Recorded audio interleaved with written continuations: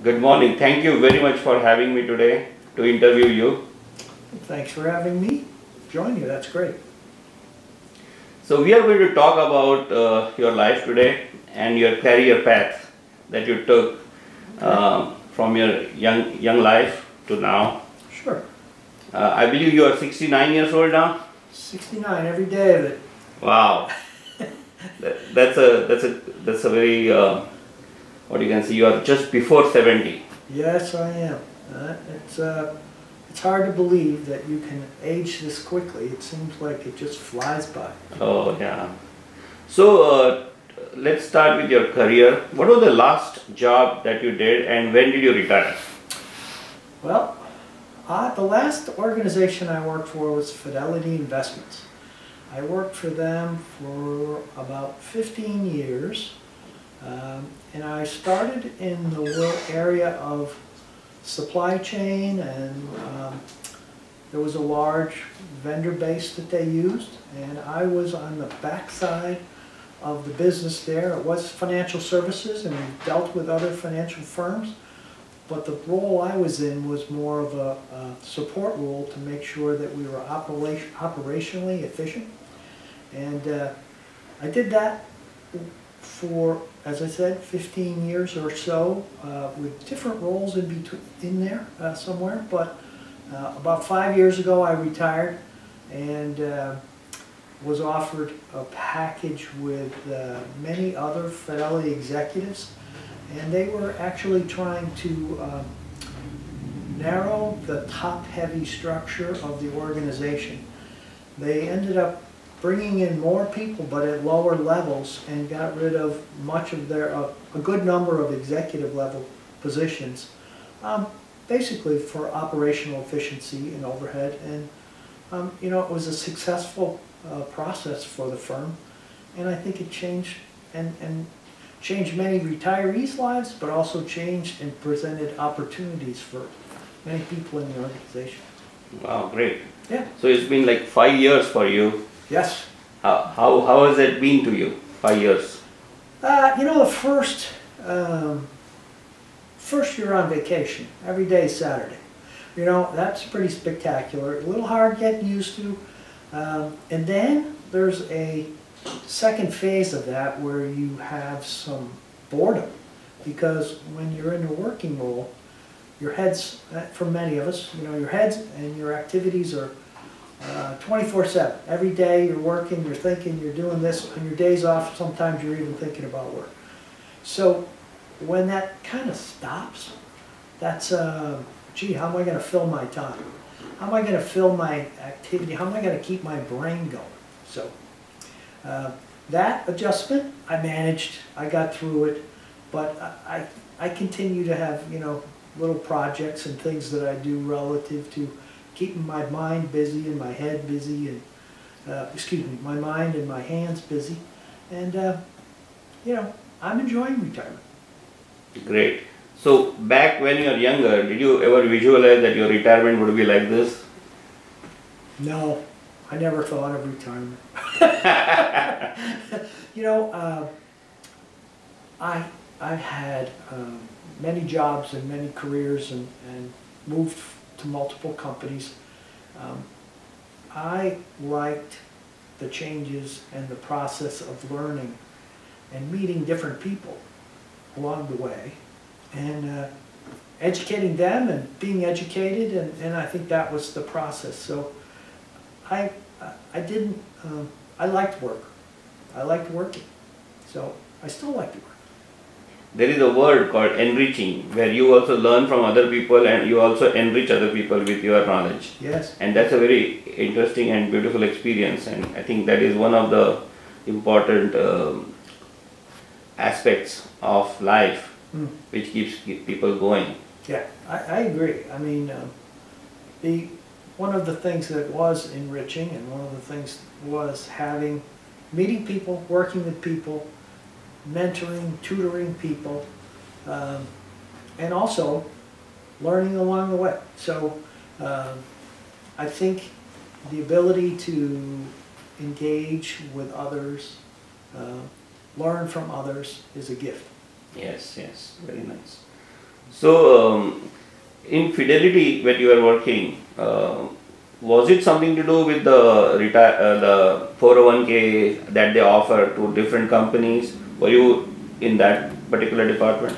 So no, I was not. Uh, Fidel- Fidelity has four different uh, major functions. What most people know them for is the retirement side, the 401k, Right. the retirement investment side. They also have a personal investing side where, you know, they have the Fidelity offices and you might have your own investment Mutual accounts. funds. Yes, mutual funds. And then they have uh, uh, an institutional side of the business which supported all the back office and trading activities of the two other branches of their business. Okay. And um, w- that's the side of the business I was in, kind of the back side of the business. The institutional side also uh, is very active at the commercial banking levels and, and supporting you know, Wall Street and other firms and Oh. balancing cash for the Nice. firm. But my role was all the vendor support and the software and the, the mechanical process of we were responsible for every time you made a trade to make sure that the trade confirmations, the letters, the legal letters and mailings, that all are supported with financial trades and uh, business transactions, that the documents got there either electronically or paper-wise. And all those monthly statements that people get in the mail and never open because they use their online account, we used to mail all those. You are the guy who sent that mail, so many mails and letters. Yes. I yes. see. Yes, and, and you know, there's a, there's a good reason for it, uh, for the Fidelity people and for the people, it's for their protection. Uh, but those rules and regulations are set by FINRA, which is a financial organiz, a control organization. And they set the standards of what you're gonna get, when you're gonna get it, and, you know, what liabilities they have as a firm for trading and making recommendations for financial uh, services. So, um, without those controls, people could be uh, cheated, and Mm. that's not a good thing. So, Okay. You have any advice on what should we do with the paper statements? uh, well, I think people should use the online version. Okay. And if you want a paper statement, all you have to do is hit boom on your printer, and you can have it because it's all right there. Correct. So uh, it's kind of the reason they have them and they haven't converted is uh, tradition, right? And it will eventually change. Okay. Uh, over, you know, my career at Fidelity when I started there uh, in the early 2000s, I'd say it was about 80% paper, 20% electronic. Okay. Uh, it has moved to over 60% electronic, Oh, with great. over, with maybe 40% paper-based. Uh, there isn't any real reason for the paper other than Correct. traditions. But, you know, people like it. Uh, it's, there's many organizations that are seeking to put it all. Uh, I I fall victim to it. I could have many of my statements mailed to, uh, sent to me electronically for credit cards and others, and I won't do it. Because when I get the paper in the mail, it reminds me to pay the bill. correct. Correct. So, I'm old school. Right. So, uh, tell me about how did you grow in the organization since you joined Fidelity? How was that journey? Ah, so, um, well, I think from Fidelity, I was lucky enough to come into that organization at a vice president level. So um, that was a position of a large responsibility. Um, I came to the organization uh, through an acquaintance I had met at a previous uh, uh, company. Uh, we worked together for five years in another organization, and about we part. You know, the companies went somewhere. He went places. I went places, and he called me back because of uh, he called me and said, "Would you be interested in moving to Ohio, and uh, or Kentucky? You know, out in this way and work for Fidelity in a role. I know you'd be great at it." I'm like, I don't really want to move to Ohio. And he goes, Jeff, at your age, I'm not gonna end up calling you again. You should really think about it. Because I was in my early fifties, and he said, you know, it's, it's that much harder to get a job after you're, and change jobs after you're fifty. You should really think about it. This is a real fantastic organization. And, uh, as I thought about it and listened to him, his counsel, um, and I said, you know, that's, a, that's probably a good move. So as I went there, uh, as I said, I was a vice president, but my role within those years changed, and as the organization changed. So as we moved from a very paper-based organization and paper-centric, we moved to electronic. And that electronic involved whole different uh, operational processes, people, engagement in technology, um, opportunities for us to, uh, Fidelity had been around for a number of years, and what made them great was they did all their own internal development of systems and applications, and it was some of the best in the world. But 20 years later, all those platforms needed to be rejiggered. And how do you do it? How do you keep up with the change? So instead of developing it all internally, they started partnering with people on the outside. So they went to best-in-class solutions for all the various areas. And that involved, you know, myself for vendor relationships and processes and contracts and making sure that that was there. So along the way, uh, although my title moved around, uh, it was still at a vice president level, and that was uh, fantastic for me, but it gave me an opportunity to meet so many different people in the organization, bring in staff, change staff. Um, you know, Fidelity's always in a growth position. Very few people will go uh, because it's a good organization, but they will move. You know, when opportunities present themselves, they will find ways. So um, we found ourselves being kind of the quiet, silent type in the background. Uh, you know, what we did operationally because Fidelity is known for its financial services.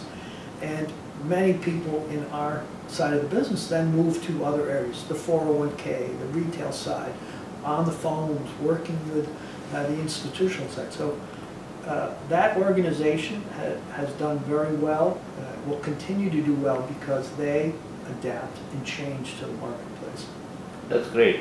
Yeah. Uh, was there any uh, situation or event that happened in your uh, last job which you held on to 15 years which kind of tested you to your core?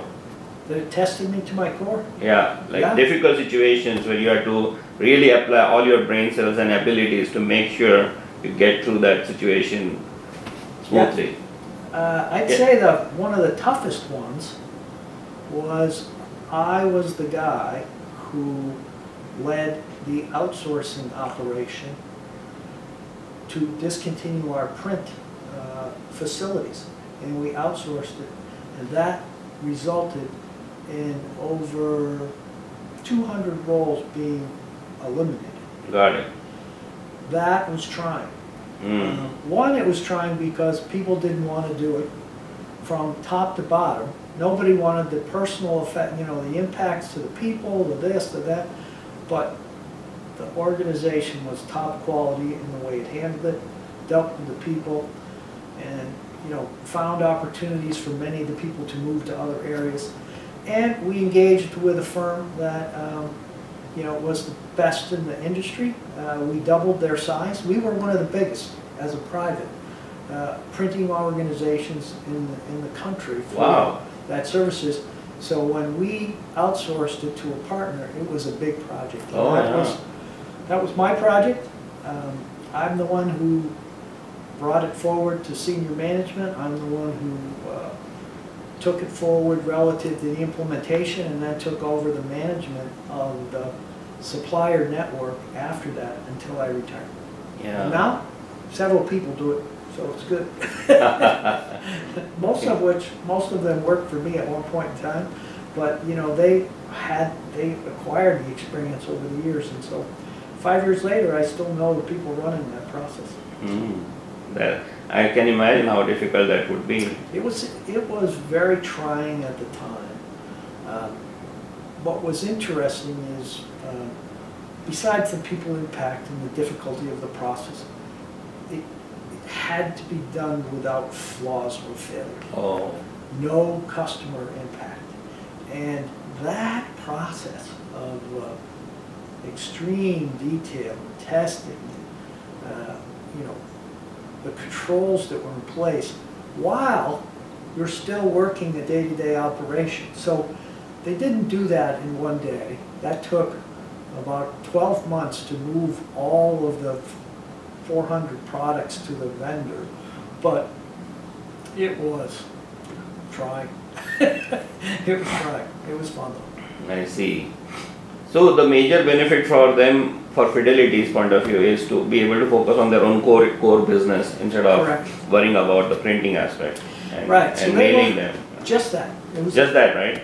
what do we want to be the best at? What, you know, again, you know, one of the challenges, right, was the changes in technology, the speed, the engineer, all the things that are there. It was time to re-platform millions of dollars of printing machines and equipment. These, these printers are not the printers that you see at your office. These are printers that print on rolls that are eight feet high. Oh, And, you know, we would mail 20 million pieces of statements a month. You know, I mean, it would, it's just the massive volumes and the number of printers and the technology that did it was amazing. But what people wanted was the same experience that they could get online on paper. And so, you know, you wanted variable content, you wanted color, you wanted all the things that when you called up your cell phone, it's like, well, you can, these, these need to be the same. And to do that, to have that same customer experience, they would have needed to rewrite all the software, buy all new hardware, run this thing out, and it would be a, a very expensive project. It was expensive to move it, but now the supplier, who was already in that, that uh, mode of updating and doing all that, is the one doing that spending, and we're taking and concentrating, uh, when I say we, Fidelity, uh, took the time now to say, hey, what do I want to be good at? right. You know, so, Great. Wow. That's awesome. Thanks for sharing that experience. yeah. So let's go a little back in history. Sure. What was the job that you did before working for Fidelity? Oh, boy. So, uh, when I, when I uh, graduated from college, it was a very down market. It was the late seventies, right? This was coming out of gas crisis, depression, the highest, similar to what we see today with the highest, you know, the period when people are saying we have the highest inflation rates since when? That's when I was getting out of school. I see. So, uh, my first, you know, graduated from school, graduated with honors and a high GPA, and said, you know, education is going to be the answer. And when I got out, I sent out probably, no, I'm not exaggerating, five to six hundred letters, resumes, because they didn't do anything online at the time. It was all oh, paper. Oh, right? yeah. Right. So it was all paper. That was a project. You know, I was all over New England working my way, and I received five to seven responses out of five or six hundred wow. Letters and whatever, and maybe two interviews. And everybody said, "Well, that's great, but our, you know, things are so bad we can't oh. do anything." So after you know, what did you graduate in? Let me interrupt 1975 from, You- from college, and so then, I said. What was your graduation degree in? Uh, I was finance. I was a finance, BS in finance. BS in finance Yeah, I in 1975. Yes. Wow. And then uh, I said, gee, no job. I had some other people that I was went to school with, and they were taking jobs, but they weren't jobs in their line of in their line of work, what they had studied for and done this and done that. And I said, I'm not going to do it. So I went and got my graduate degree. and I said, if I'm going to not work, I'm going to use this time, you know, to go get my uh, master's degree. How much was your fee during that time? My free fees, Fees, school fees. oh, eh, minimal compared to what we pay today. I, I'd have a, a hard time remembering, but it seemed like a lot at the time. But Like, still, how much was it? What was the number? I don't know, twelve thousand a year. Twelve thousand a year? Oh, at that time? Yeah. Yeah, Okay. it's a lot. It was a lot then. It was a lot at that time. Yeah, yeah, yeah, yeah. I mean, today uh, you can get through one semester for like about that amount, six thousand. You know, Maybe you're saying too high. I think it might be a little high because I think, I think the whole thing when I got done, when I added my education and graduate degree and whatever, I had spent somewhere thirty-five to forty thousand dollars. Oh wow! You know, and so. Did you were you able to get a loan at that time or Oh, there was no loans involved. no loans? Yeah, we just paid cash along the way. There was some small loans, but yeah. But did uh, so your parents helped you? Well, they did, and I paid them back, so the loans were that, you know, there was a, you know, they agreed to pay for my undergraduate degree. And Okay. for my graduate degree, that was all mine, because No. they wanted me to get a job. Correct. And I wanted to get a job, but I didn't want to undersell myself. Uh, I had a couple of opportunities, but they were thousands of dollars less than what, uh, you know, like, not, not like a couple thousand, they were like six to eight thousand dollars a year less than what I was shooting for, for, you know, a BS in finance degree, and uh, so, uh, I What- said, no. So I went and got my, my graduate degree, and, uh, year and a half to two years later, the market was better, and I found a role at a company and uh, I turned, I, I took a role as a financial systems implementation project manager. Wow! And basically, In I, two years you become a project manager. well, I wasn't a project manager, you know, they might have called it a project manager. Basically, I was a uh, implementation point person Okay. so what wa- was happening is, this was a, the company was an ITT company, which nobody's ever heard of, an International Telephone and Telegraph. It was one of the biggest organizations in the country or the world, right? They had, a- it was a conglomerate with all kinds of holdings. So this, this organization was putting in a new financial management and inventory control model through all of their 36 locations across the United States. I had uh, the region of northeast and southeast, uh, but we ended up traveling all over the country. So you went through uh, a six to eight week implementation. You went to their branch, you managed the whole thing with the technology people and the finance people, and you drove all of the changes and drove the new systems testing, finished to end, and then you're on to the next. What was the product? Well, it's interesting, the product that they sold uh, was probably really base material. Have you ever heard of cast iron? Yes. Weld fittings and, you know, things like that, and sprinkler pipe and all. So the name of the company was Grinnell. Um, They were one of the uh, largest manufacturers and distributor of pipes, valves, and fittings in the United States. They had uh, eight to 10 manufacturing firms across, and foundries uh, across the United States. And they had a network of 38 branches in the United States and 12 in Canada. And they could get a truckload of product to 97% of the American and Canadian population in 24 hours. Wow! So it was big. I didn't know it. It was, you know, it, but it was big for me, and it was a great job. I got to travel. I got to meet a ton of people. Got to, you know, practical experience on deadlines, deliveries, and introducing yourself, rolling out a project, working on a thing. You know, calling people, them calling you at night. You know, saying, "How do I get through this?" So you worked hard. Um, and then after that project was over, I went to work at their uh, headquarters, and I was a senior financial analyst, which basically said month end, quarter end, when they're buying money, spending, if they were using any capital plan, uh, financial analysis, that was my role. So that gave me the opportunity to go from, you know, that's what I went for for my degree, but my foot in the door was, I'm gonna go with financial systems and implementations and travel around, meet the people I could meet, and go for that next job.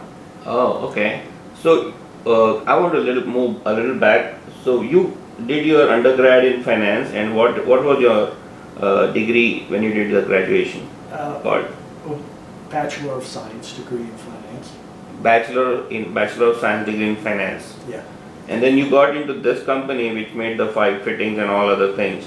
And you were uh, working for them for how long? Nine years. Nine years. And that was your first big job that you did. That was my first real big job. Okay. And uh, you were looking at operations point of view, right? From operations point of view, but from with a financial view, Right.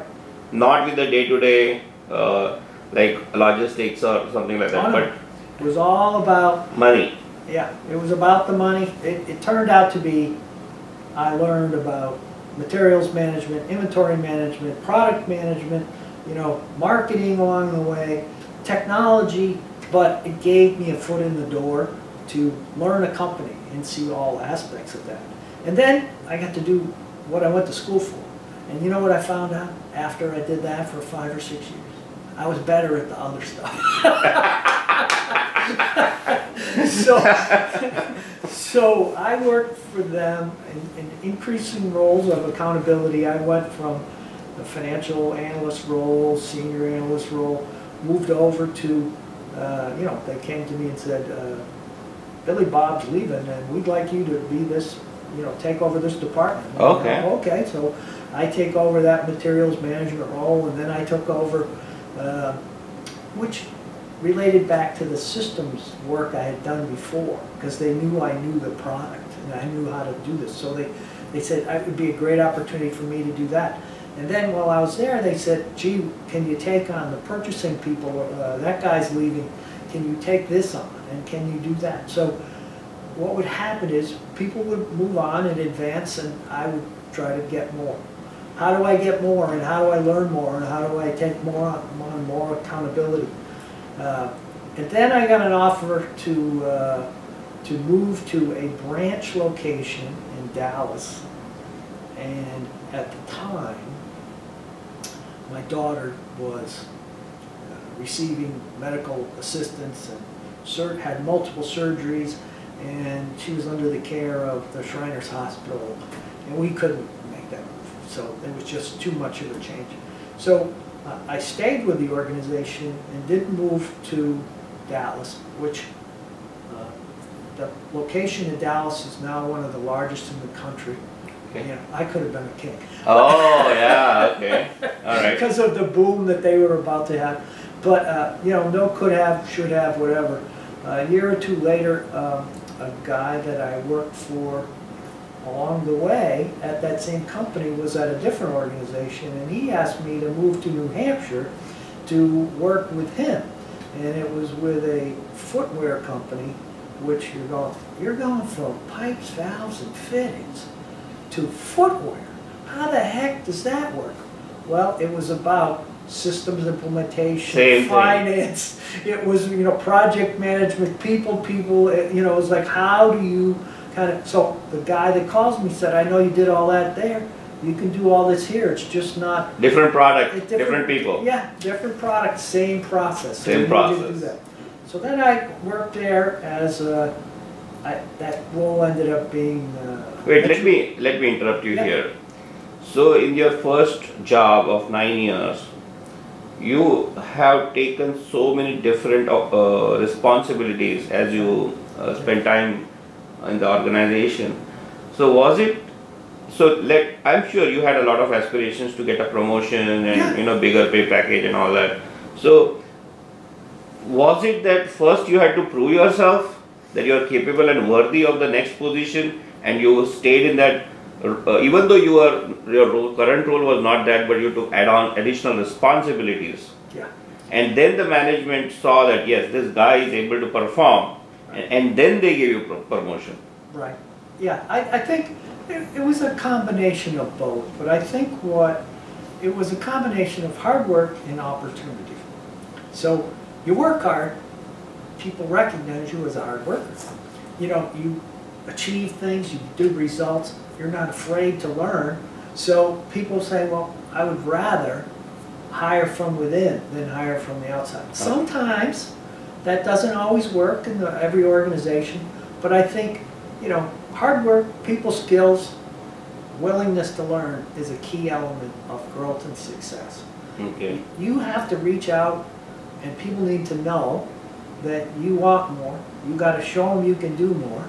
And when you do, you will be rewarded. If you're not rewarded in a way that you think, then it's time to go somewhere else, Uh-huh. right? And do that. I mean, you could stay there for 25 years maybe, or 30 years, or, you know, for the rest, but we, I didn't want to do the same thing I was doing for 25 or 30 years Mm-hmm. that to me is not, was not enriching, uh, you know, for myself and for others. So, um, you know, when the time came for a new role, I was lucky because I had built a pretty good network of people that I knew.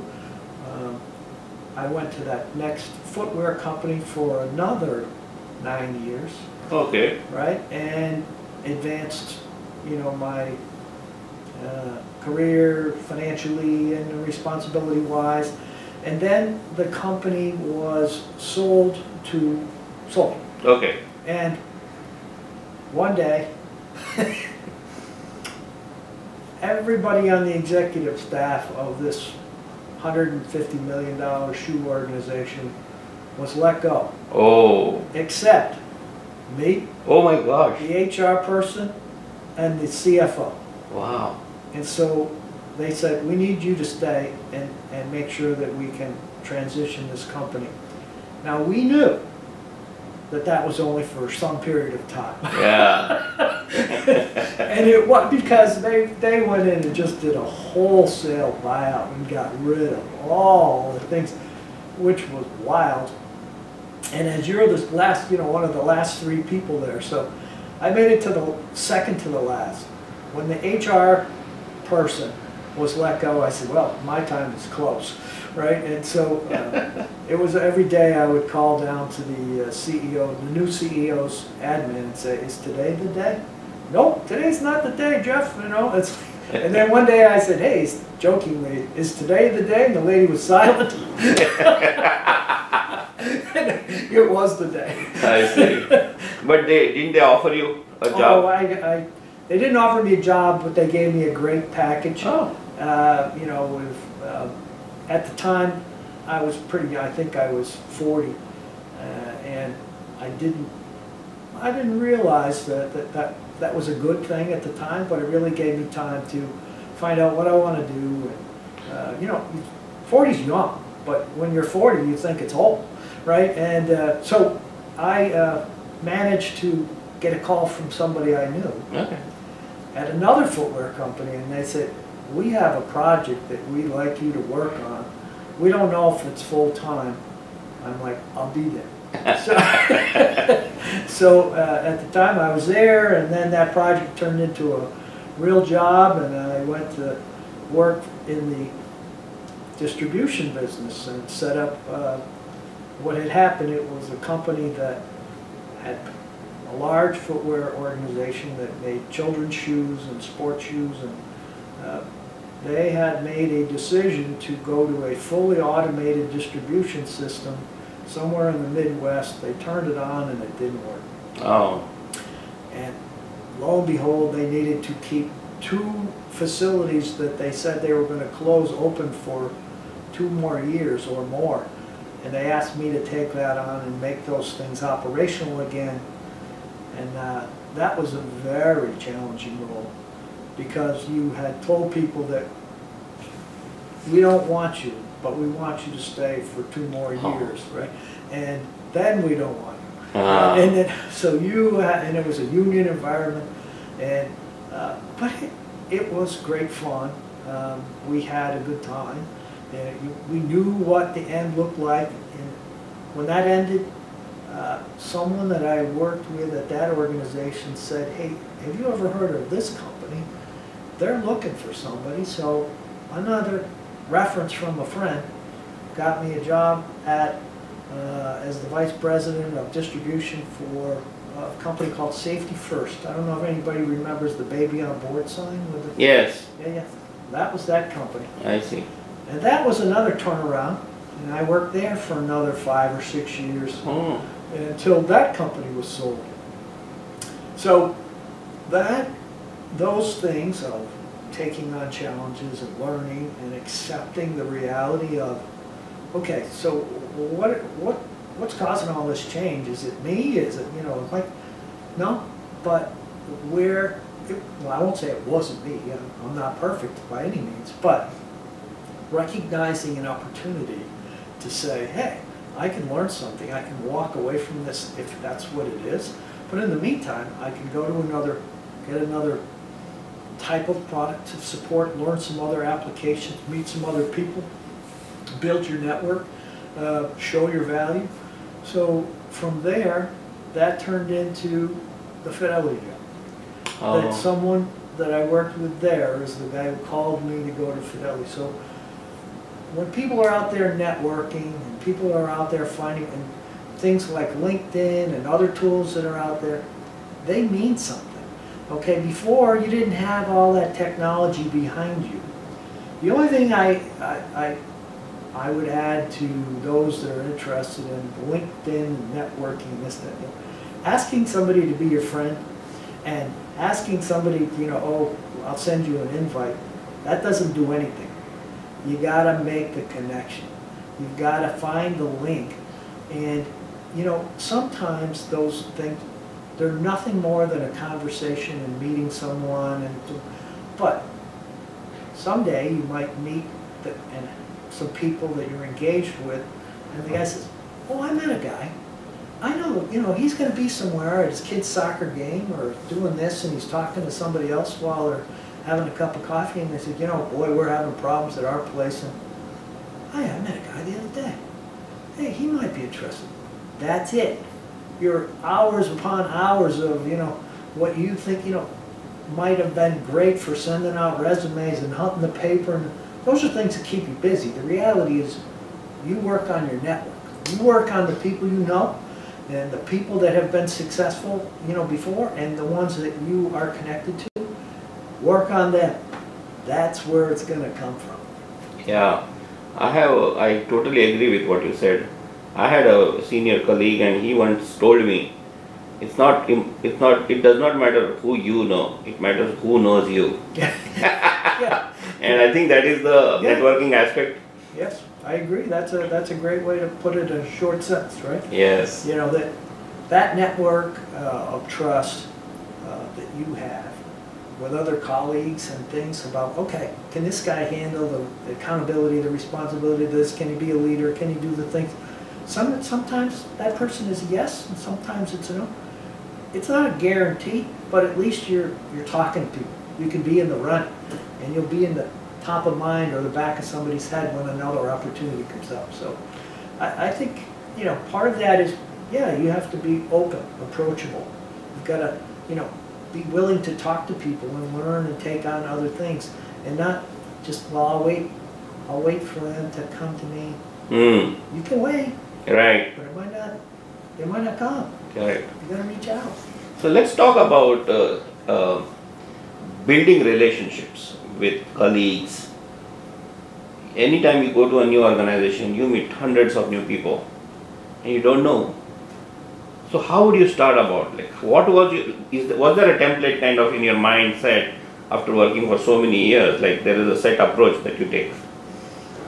Geez, I don't know if there's a set approach as much as I believe the approach is, you know, my approach was who do I like to engage with? Uh, what kind of person are they? Do I trust them and can they trust me? How does that trust establish when you have never worked with them? Uh, you know, I, I think you have to build it, right? How do you build it? Well, I think you build it through conversations or demonstrating, you know, what you can do and how you can help them. When you offer people help and provide that help, not offer help and don't do it, or not offer help and screw it up, you know, or not communicate. So part of it is that give and take of when people are like, I'll help you, but if you can't help them, you better say, hey, but I can't do it here, and I can't do it here, but I can do it here, and this is how I can help you. You know, be open and communicate, not, not just, uh, yeah, I can help you. No, I'm not. Right. That, that's Right. not building that trust. That's not this, oh, to back to your point, I know him Yeah, well, he knows you too. Right. He knows, he knows that you let him down the last time. Right, right. So I think, you know, you can uh, have the experience. I still think about uh, a, a gentleman I worked with in one organization and I trusted the people that worked for me and because they were good people and when it came down to it, they were wrong. And that guy blamed me because I gave him my word. And you know what? He was right. I took the word of these others, I passed it on. He said, You told me, I Oh. trusted you. And I still, you know, it still makes me, when I think about it, it's like, You're right. I, I screwed up because I trusted and didn't verify. You know? you know, so it was a learning experience, Right. pleasant. But that's how we learn, right? Yeah, mistakes. And then we don't try to repeat them. Yeah, I mean, you, so that didn't happen much more, right? When you, part of that is when you promise and have, building that trust means, yeah, you're checking, you're, you're doing things, you're making sure you're delivering against that trust. You know, it starts with communication, it starts with a joint project or something, or lunch, or, you know, hey, uh, my kid is having problems with this, and and you ever, you know, so then you can engage in something, so. uh, So, uh, so as you go through this uh, whole life and you meet so many people, you must have met so many people who would give a lot of word that I'll do this, do that, do that, and maybe not keep the word. Yeah, yeah. What percentage of people are like that? Do you think? Um, you know, I would, so, so part of that, I think it's small, you know, five percent, Oh wow! ten percent. But that's if you know what they're committing to. Oh. right? So, I mean, part of it, know what you're, have the right expectation. I don't really, some people, right? They're, they're not, they're not on the same level in knowing what the commitment was. Oh, you mean you're gonna take care of my dinner bill? No, I didn't say that. I said I'd join you for dinner. Making sure those two things are, you know, aligned, right? I think most, when they are aligned, people will perform well to that and you have very high numbers of, So basically, setting the right expectations Right. and communicating clearly, yeah. and that helps a lot. And that helps a lot. And then people both can kind of meet those expectations. And when you don't do that, then the expectations aren't often met because, not because they're not met, but they're two different, they're at different levels. So, um, part of that is, yeah, talking. Talking right, got it. So, um, can you summarize uh, what are the human qualities that one should possess to have a successful career that is as long lasting as yours? Yeah. Well, you know, I, I, I don't know all of them, but I would say you need to be a pretty good communicator. Okay, You know, you have to be willing to talk. You have to be willing to listen. And I think listening is a big, people can talk, but you know, it takes two. And so I think listening, being open, um, open to new ideas, being a learner, a world learner, saying I want to meet, have different experiences and do something different and, and learn from it, right? It isn't necessarily pleasant, but I think that I, you know, I had a good education. Um, I will tell you that I'm a terrible reader.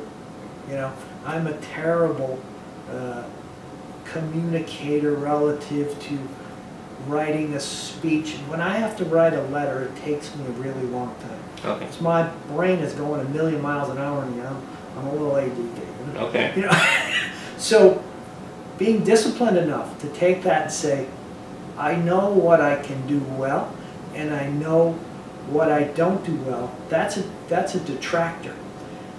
Make sure you don't have a lot of detractors, or if you have them, work on them to make them at least good enough so that you can excel at the stuff you're very good at. That's what people will go for. What are you very good at? So basically, being authentic Yes, This is, I mean, if you want to summarize this whole thing, is being authentic with yourself, yeah, with other people, so you know your abilities and you know yeah. where you are in every I think, sense. To your point, know who you are. Yes. Study who you are. Right. Know what you, it's not necessarily what you want, but you can get maybe more of what you want if you know what you're very good at Mm. and what you're not that good at. So don't get a role or look for a role for things, oh wow, this, this is great money and this, that, and other," but it's not what you do well. And you're not gonna do well, you know? So I think part of that is, as you said, And uh, so other aspect also you which you described, I think it touches uh, integrity. Yes, yeah. I think uh, integrity is key. It goes back to that trust model. It's like giving a word and fulfilling it and keeping the word. Yeah, it means a lot. And if you cannot, then at least apologize or let them know in, in advance that Yeah. you may not be able to do it. Communicate, talk about it. Communication. Yeah, because that, you know, I'm gonna be there if somebody says they need your help. I'm- Mm. It's not gonna be, and people know it. Yeah. So they, they will entrust in me. And then, if they will, I'll let them be the ones say, hey, you don't have to. You don't need to, I got it, it's just, okay, but I'm here if you need, right? So- Right. And then another word comes into me while listening to your stories: responsibility, taking on responsibilities Yeah. and increasing the plate size. Well, you have to. I think, you know, taking on that uh, added responsibility of more than just life, you know, uh, when you go for different roles and you try to be successful in life, the reason they're going to do more and pay you more is you have more responsibility and more accountability. All right. And, and you, you best be willing to take it on or you probably won't be successful. Correct. You can't at the end go, well, they did this and they, but you're here, so it all goes up. Yes. And then also I'm hearing a lot of enriching going on from beginning Yeah, I, I, and it's still going on, yeah, right? So I have for this formula called AIR. We need air to breathe. What is AIRE? Authenticity, integrity, responsibility and enriching. ah, Air. nice, very nice. With this formula, I think anybody can become successful in whichever direction of career they choose that they want to go or in life. Yeah, They will open many doors. You agree with that? I do, I do. I think that's uh, good theory and good in practice. And I think, uh, you know, I don't have the acronym, but I'll probably use it again. Air, Yeah, AIR, Yeah. breathing, that's good. as important as breathing. Yes. And um, so I want to um, kind of come to an end to this interview now. Sure. Um, but I want to make a observation, Sure. and you can tell me if my observation is close. Um, so when you are working on the finance side of this industry, of any industry, you started from the steel industry, then you went to the shoe industry, and then when you went into actually money money industry, Yeah. right? Money was the product, Yeah. Uh, finan- in Fidelity. So when you go through all of these different industries, and your focus is on money, you learn how the products move or what is the value of product in the market and everything about the product because ultimately it comes to money. You learn so much about the product as well as the value and the money valuation of it right? So when i was i had a mentor who told me one day that the guy who controls the money is a real powerful person. Well, I, I agree. Uh, one of the reasons I went into finance is I wanted to understand how yes business was really done. Where's the money? Who's, where's it coming from? How are they committing to it? What are the things, how is it set up? And then how does that drive the rest of the organization's goals and aspirations, right? right Because you can have all those things, but if there's no money behind it or if it's not spent in the right area, right so that was my goal in, in learning first that finance side of the business.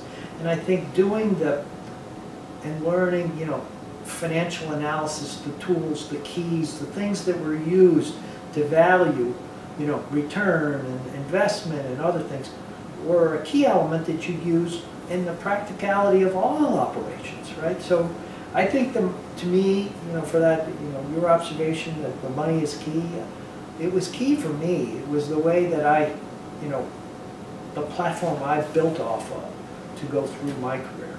And, you know, I, you know, one of the more difficult things, the outsourcing project that I worked on. Yes. Well, the big key to that was doing the financial analysis and the review of what it was going to take to reinvest versus what it was going to take to move and pay the costs of the move and the severance pays and all the other things. And net net, where do you want to take the rest of the money for this organization and invest it in the future? Yeah. It's back to that kind of breakdown of how things worked and operated, to me was a key. Key. What I, So um, I know another person, gentleman, uh, who used to work in a similar uh, uh, financial analyst role, but he used to um, work for, for banks who give away loans yeah, and um, for large earth moving equipments. Sitting in that role, he understood how the whole earth moving industry works. yeah, yeah. You know, and after a couple of years, he said, you know what, I'm going to own my own earth moving industry because I have the full knowledge of this industry now. Mm-hmm. Because I know how the money works here, and I know about that equipment. I may not be an engineer, but I know how the fan, I know how ca- how I can make profit Yeah. out of this.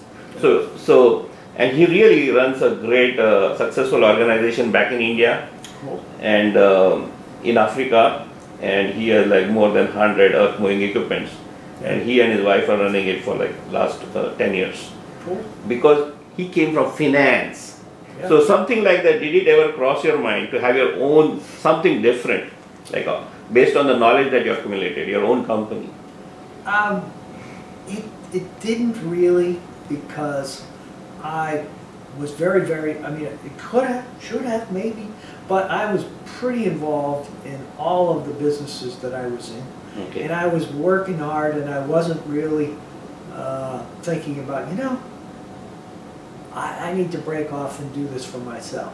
I would, I think there was thoughts of going into the, uh, I'm a problem solver. People Yes. hired me to solve problems. Right. And project management and delivering difficult projects on a deadline and do this and that. So when I had met uh, a couple guys that were also in the finance business, they worked for Deutsche Bank and whatever it is. um, They were, they would throw investment capital in for different companies and so so they would call me and they would bounce the ideas off certain things and maybe there might be an offer of, uh, hey, would you come in and do this project and do that project? If the offer was good enough, I'd be there. It Mm. wasn't quite good enough. You know, but- But I think that, you know, back to your point, uh, learning those things and having a skill set that you can count on, that people count on you to, you know, come to you for Yeah. uh, input and advice is valuable. Mm. And, uh, you know, your friend made uh, probably some great decisions Yeah. about, hey, how do I, what can I be successful at based on my knowledge and my skill set? And I think that, you know, he probably said, I can do that. I, am working with somebody and I see, I'm seeing them be successful. I can do that too, because I can work. Because he was uh, approving the loans and analyzing everything Yeah. and how much profit they are making, this and that. All the numbers were in front of him. Yeah, All he wanted, he said, all I had to do was hire the right people to fix if the engine broke yeah, in the brake. So I just hired people who took off, looked after the maintenance of the earth moving equipment.